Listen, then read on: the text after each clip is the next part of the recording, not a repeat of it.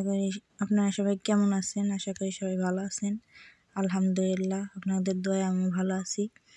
আজকে আমি ছোট একটা নাস্তা রেসিপি নিয়ে আইছি। বাচ্চাদের টিফিনও দিতে পারবেন কিংবা বিকেলে আত্মীয় স্বজন আসলে তাদের সামনে কিংবা নিজেরাও করে খেতে পারবেন।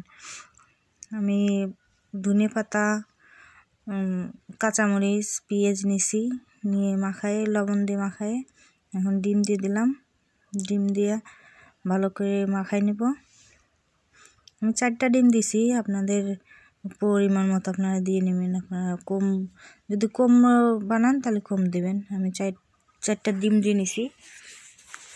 দিয়ে ভালো করে মাখাই নিলাম। মাখায়ে কড়াইতে তেল দিয়ে দিছি আগেই গরম করে। এখন আমি দিয়ে দেবো পাউরুটি। তেল গরম হয়ে গেছে। এখন পাউরুটি দিয়ে দেবো আমি।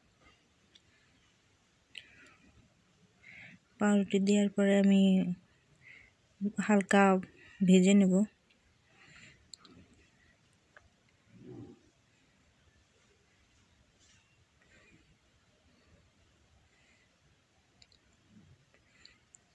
আমি এখন উল্টাই দিচ্ছি।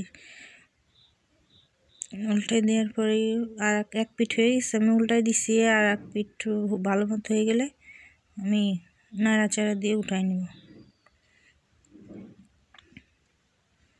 এখন আমি উঠাই নিচ্ছি।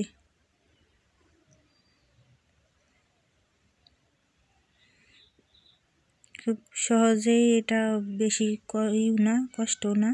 খুব সহজে এরকম একটা নাস্তা করতে পারেন বাচ্চাদের টিফিনের জন্যে।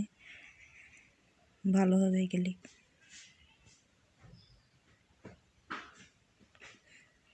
দেখেন কি সুন্দর হয়েছে